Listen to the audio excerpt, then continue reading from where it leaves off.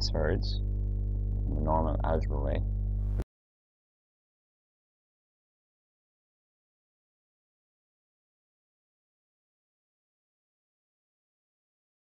Now how would we reduce root 18?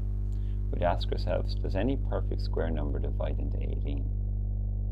Well, 18 is two nines, so we could rewrite 18 as 9 multiplied by 2.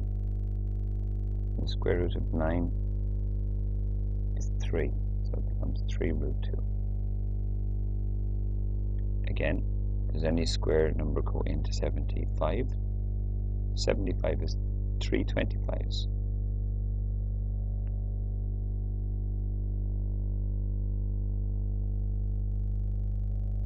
Since the square root of 25 is 5, this is 5 root 3. Simplify this, we square root the top and square root the bottom separately. We get 5 over 3. 5 by root 2 is 5 root 2. An important result, root 2 by root 2 is 2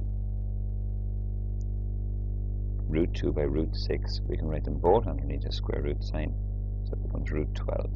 And this simplifies in the way we looked at before, because 4 was into 12, so it's 2 root 3.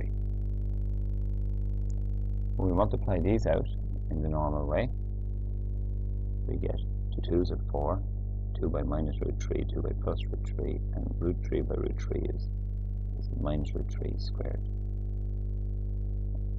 Here we have a cancellation and the result is 4 minus 3 which is 1. There's an easier way of doing this if we notice the pattern with the difference of two squares. So this is just 2 squared minus root 3 squared.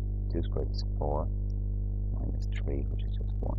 And we should notice this. These are called conjugates where you have the sign that is different between the square roots. So the conjugate of 3 minus root 2 is 3 plus root 2. The conjugate of minus root 2 plus 1 is plus root 2 plus 1. When dividing by surds, we don't like to have a surd denominator. So we multiply above and below by the surd denominator, which is effectively multiplying by 1.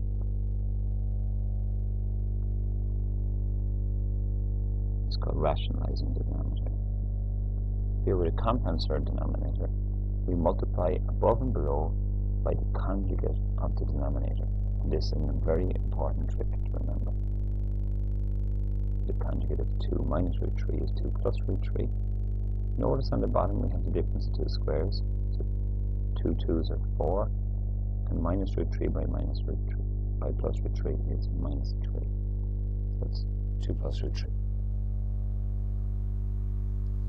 So in summary, these are the key points.